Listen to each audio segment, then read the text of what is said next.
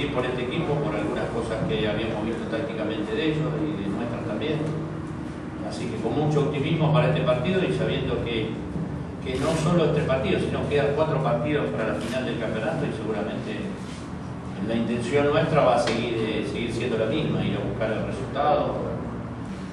Creo que el equipo dio una demostración el domingo que está, que está bien, que está en lo táctico, en lo anímico, en todo lo que hacemos, responden los jugadores de la mejor manera. Entonces, para el entrenador, eh, de parte mía, estamos, toda la gente que trabaja conmigo, estamos muy confiados y, y siguiendo, de seguir dándole tranquilidad, porque sabemos que estamos en un momento importante del campeonato y respaldarlo. Eh, sí hay ausencias importantes, pero nosotros trabajamos a nivel grupal y están todos en condiciones de hacer un buen partido. Eh, creo que los jugadores son conscientes que pueden quedar en la historia de este club. Y no todos los jugadores que han pasado por acá han tenido la suerte de ganar un campeonato y de pelear un campeonato.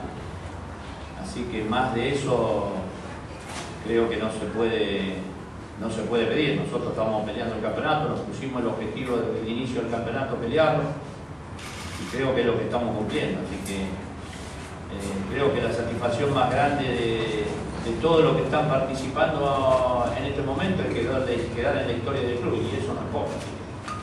Trabajaremos con la misma tranquilidad, con la misma responsabilidad.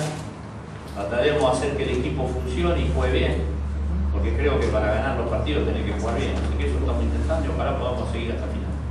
Eh, todavía queda mucha fecha. Cada fecha que pasa es como que es definitoria y no es así.